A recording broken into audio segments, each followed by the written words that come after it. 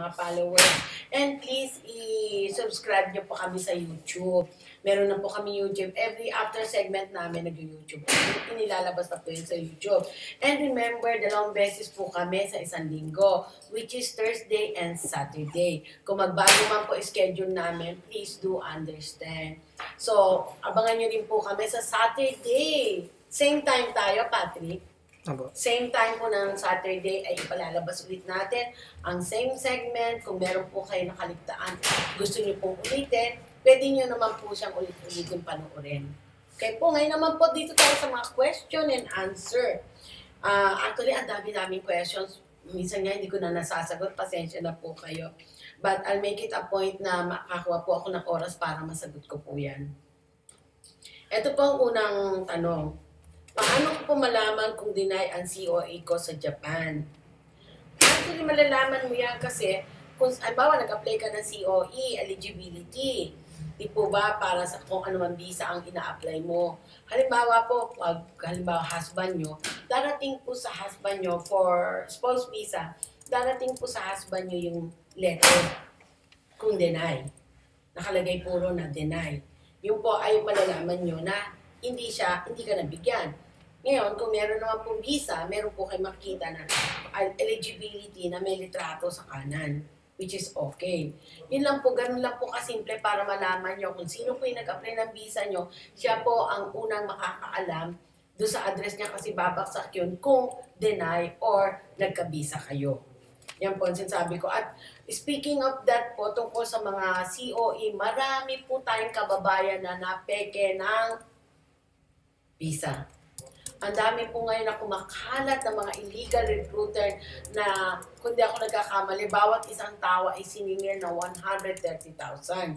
130,000, alam ko po, 30 tao sila na nabiktima. Sinabihan na po natin, ni-remind na po ni, ng ating kaibigan na yan na hindi totoong eligibility. Dahil nung ipinadala po yung eligibility, the difference is nakalagay ng student, pero student visa ang nakalagay sa COE niya, pero on the lower part ata parang ang nakalagay dependent visa. So nag-double po yung yung purpose. So ano 'yan? Hindi naman po pwedeng maging ganun ang itsura ng ano COE. Di po ba? Kaya hindi natin malalaman sa papel kung ipadadala niyo po syempre sa amin, hindi naman natin alam din yan. Ipadala niyo man po yan, makikita natin from the uh, COE kung nakalagay as uh, student visa ka, nakalagay po student visa. Pero para magkakaroon ka ng another error ng status mo ay nakalagay na naman na dependent visa, parang okashi na po yun. Ang dependent visa po, if I may tell you, ay visa po yan ng kapares ng halimbawa ang pamilya ninyo nagtatrabaho sa embahada pinapunta kayo as a family visa dito, pwede po kayo mag-stay ng one year, hanggang habang may visa yung uh, yung, nag yung pamilya nyo. O sa mga working visa, halimbawa gusto, gustong imbitahan yung misis niya dito na tumira, yung mga anak, yun po ang mga dependent visa. And for student visa, syempre kung nag-degree ka rito, kung nag-language school ka, yan po ang mga student visa. Kaya hindi po pwedeng pagsamahin sa eligibility ang dependent visa at student visa. Kaya doon lang po, masasabi, nasabi na namin kaagad na hindi totoo yung eligibility mo yan. Kaya lang po, nag-force pa rin sila na for the last minute, yung hinihinging huling bayad ay binigay nila, nakala nila totoo, pagdating po sa ano, wala silang visa. Sa airport pa lang po sa Pilipinas ay na-hold na sila. Kaya mag-ingat-ingat po kayo sa mga fake recruiter. At ang alam niyo kung sino po yung mga iyan, karamihan ngayon, mga Japanese din po. At minsan nakakalungkot, kababayan natin ang connection sa Pilipinas. Kaya mag-ingat po kayo, kayo mag, basta magniniwala, lalo na yung mga narinig ko, sinanla yung ganito, binenta yung ganito para makabiyahe. Yan po ang nagiging hit ngayon sa Pilipinas dahil foreigner mismo ang makikipag-usap sa inyo tungkol sa visa. Kaya kung gusto niyo pong malaman, kapares ng sinabi ko, para malaman niyo kung deny ang inyong visa, yun nga po, may darating po sa inyong papel. At in case na ang visa niyo, ang ina-apply niyong visa is hindi spouse visa, kundi working visa, at sinabi sa inyo na employer niyo na deny kayo, pwede nyo pong sabihin na pag-picture nung ng papel na deny kayo para malaman nyo. And in case naman po na ayaw ipakita sa inyo, you can come over. Or you can go to Ja- Philippine, em, Philippine, sa Pilipinas, sa Japan Embassy. And kung may kopya kayo, pakita niyo po yun doon. You just want to know if it's really the original or you are confirmed na may visa. Isa po yan. Yan po ang mai-share namin sa mga peking eligibility na visa ngayon na kumakalat. So be careful about it. Ito naman po ang pangalawang katanungan. Namatay ang Japanese husband ko. Ah, may mamanahin po kami na cash at house and lot. Totoo po ba na kailangan bigyan ko at paghatian namin nung anak niya sa una niyang asawa na hapon ang mga naiwan ng husband ko? Yes po. Ah, ganito po yan kasi dito sa Japan kailangan maski hindi niya na asa ah, ah, wife yon at may naiwang anak at nakapasok sa kuskito, automatic po yan na kailangan mag-share kayo. With the percentage, hindi po ako masyadong alam dyan. Hindi ko po masyadong alam kung magkano ibibigay na percentage. But if I were you, para hindi po kayo mag-confuse, meron pong dito sa Japan na volunteer na mga lawyer, which is Oteras. Oteras po ba? Oteras po, Oteras po ata yon. Or you can call me for the, kung kailangan nyo po ng lawyer na voluntaryo. Pero ito po yung mga question lang. Pero kung magpapalakad po kayo, syempre, hindi na sila voluntaryo. Yung gusto nyo lang po magtanong on something about this matter, kung totoo hindi, kung gusto nyo po malaman totally, po mismo sa experience ko, share ko sa inyo, totoo pong kailangan bigyan nyo yung anak niya.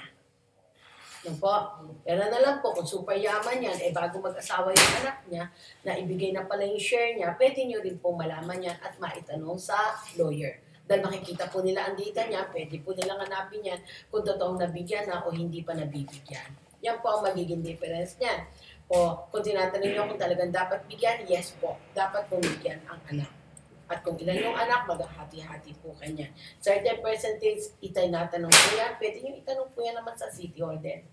Talk about it, kung paano mangyari. Pero alam niyo po ba, malaki rin ang tax na mababawas dyan. Yan po ang ating pangalawang tanong. At ang pangatlong tanong naman po, ito.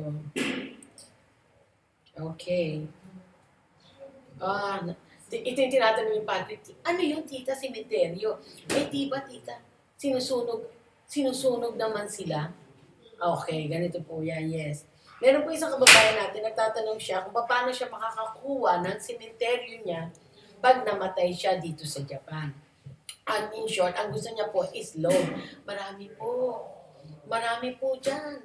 Ang dami pong mga nakapost. Makikita niyo yung halimbawa sa halimbawa, pumunta kayong funeral, pwede kayo magtanong at sa City Hall po, pwede nyo itanong yung mga company. Or even sa internet, pwede po kayo magtanong sa internet, sa mag-search sa internet ng mga cemetery in Japan for loan. Marami po yan, madam. Marami po dito. Meron nga, halimbawa, pareho din sa Pilipinas kung ilan years to pay. May hulugan din dyan. Kaya kung gusto niyo pong ma- malaman kung saan meron, eh, ako po eh, sa internet mahilig mag-search eh. Lalo na ngayon, ang buhay ng tao ngayon sa internet din. Di po ba? Lahat ng gusto itanong, nasa internet. Lahat ng gustong malaman, gusto, ano, nasa internet. Kaya kung gusto yung kumuha ng cemetery for hulugan or whatever, kung saan ang lugar nyo, mag-search po kayo sa internet or pwede kayo magtanong sa City Hall or sa mga volunteer organization po na malapit sa inyo. Okay po. Yan po ang ating tatlong katanungan ng ating mga kababayan. Basta mga kababayan, huwag alala po kayo magtanong-tanong. Huwag po basta magdidesisyon. Tanong muna. Tanong muna. Kasi po minsan marami tayong mga kababayan na na-experience din naman, pero syempre, iba ang buhay mo sa buhay niya. Iba ang sitwasyon mo sa sitwasyon niya. Nakala mo, pwedeng ganun, depende po yan sa mga sitwasyon. Hindi naman po lahat, eh, kung mo siya nabigyan ng visa at ikaw ay magbibigyan din, hindi mabigyan ng visa, minsan nagkakaganon, di po ba? Ay, nabigyan siya ng visa kasi ganun ang final niyang papeles, kasi ganun ang sinulat niya. At nabigyan siya visa. Igagayahin mo, eh, iba naman pala ang sitwasyon mo. Eh, hindi po pwede yun. Pwede kayo ma-deny. So, yan din po ang sinasabi ko. Kung halimbawa maghanap kayo ng cemetery for loan, itanong-tanong niyo po muna number one sa City Hall po. Alam mo dito, napakalaki ng tulong ng City Hall. Hindi po sila magpo-false, ano, magpo-false, ah, ano tawag, false answer. hanggat hindi from the book. Mapapansin niyo po ba, di ba lahat sila talagang maghahanap pa ng libro, babasahin pa bago kayo sagutin.